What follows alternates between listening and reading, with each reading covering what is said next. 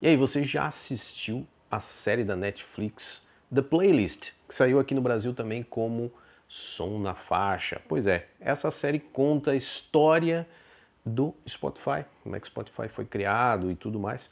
E tem algumas peculiaridades que eu queria comentar com vocês nesse vídeo. Fica comigo até o final.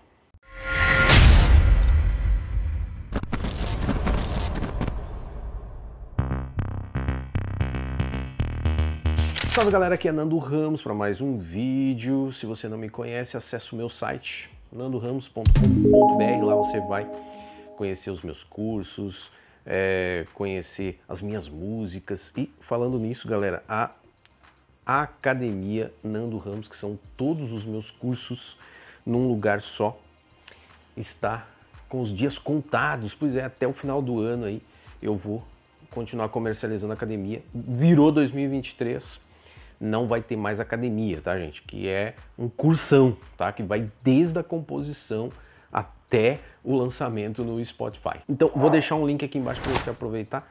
E quando você tiver lá no carrinho de compra, você digita o cupom Natal40, tá? Isso vai te dar um descontão aí para você fazer parte da academia Nando.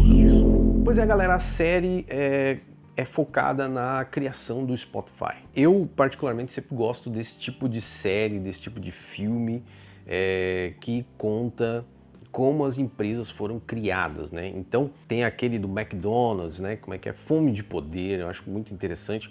Tem um documentário na Netflix também sobre a criação do Google Maps que eu também indico, tá? Não me não me lembro agora o nome da série, né? Mas é bem bacana também.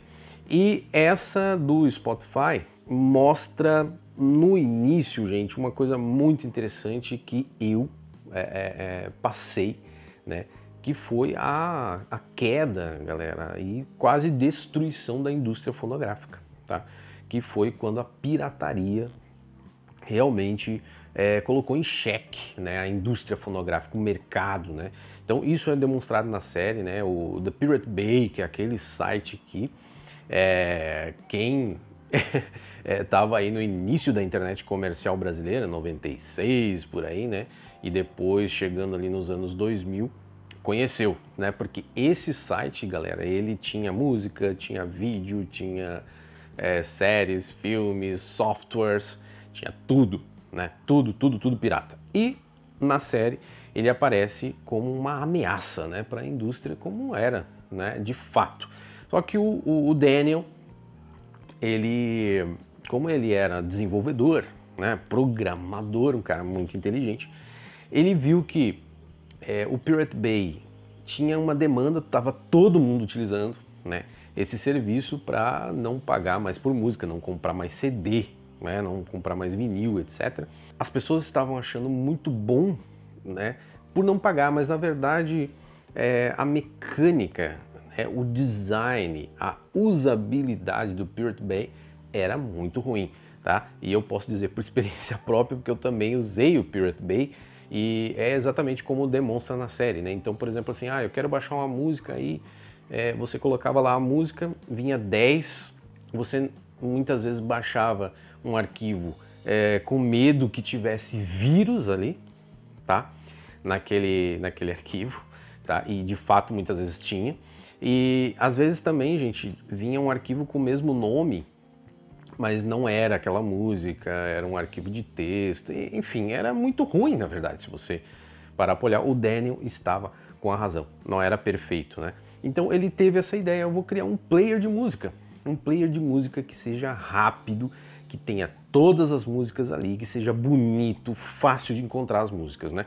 Bom, você conhece como é que o Spotify funciona, ele teve essa visão. Né? E aí a série conta também todos os percalços, né, galera? Porque ele não tinha ideia de que se ele chegasse para as gravadoras e dissesse assim, cara, eu quero bolar um player, um player de música que contenha todas as músicas do mundo, né? E vocês é, poderiam então liberar para nós o uso, é, vai ser todo mundo pago. Ah, aí a gravadora perguntava, né? Ah, mas quanto é que vai ser esse serviço? Não, não, o Spotify é de graça né? Porque o rival dele era o, Pirate Bay, né? O que, que ele queria, gente, colocar no Spotify? Anúncio. é, ele já tinha um, uma outra, um outro site que ele tinha bolado que tinha exatamente esse modelo de, de negócio, né? que tinha anúncio no meio. Só que as gravadoras não aceitavam de jeito nenhum. Então, esse foi um ponto que é muito bacana de você assistir na série, muito legal.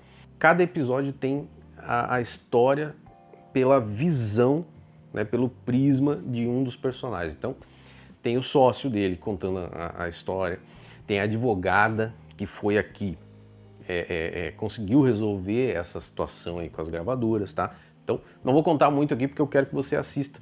Principalmente você que já me segue aqui um tempo, tem tudo a ver com o que eu falo aqui, tá, gente? Então, tem direito autoral na série, tem empreendedorismo, tem visão, né? E tem, finalmente, o lado do artista. O último episódio é bombástico, gente. É bombástico. É, é, é um, um, soco, um tapa de realidade do mercado. Eu concordo em 100% com o autor da série, porque no último episódio, não vou contar, tá?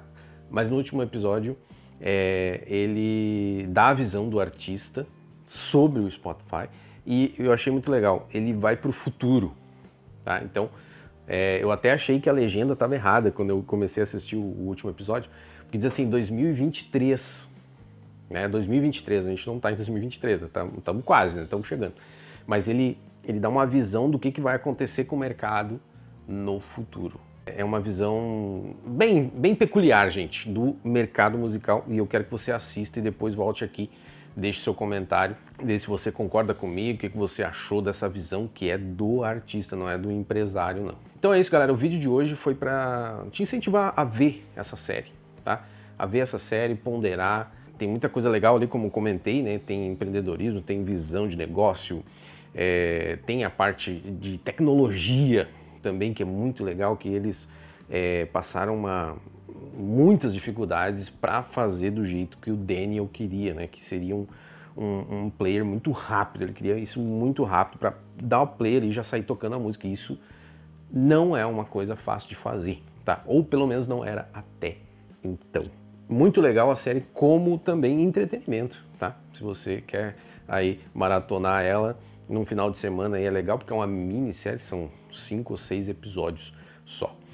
Beleza, galera? Eu fico por aqui. Eu vou fazer um vídeo é, no futuro, não sei dizer quando, sobre a minha visão desse último episódio, tá? Aonde aí eu vou soltar spoiler e vou avisar vocês, tá? Que vai ter spoiler dessa série da Netflix.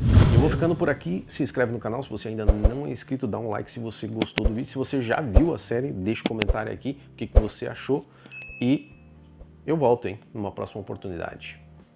Tchau.